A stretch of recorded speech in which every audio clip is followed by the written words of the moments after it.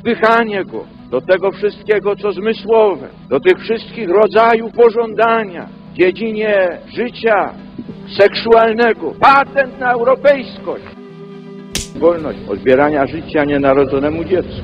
Jak mi dadzą, to jem. Słyszałem w telewizji, Człowiek może odbierać życie drugiemu człowiekowi. Okrutnik.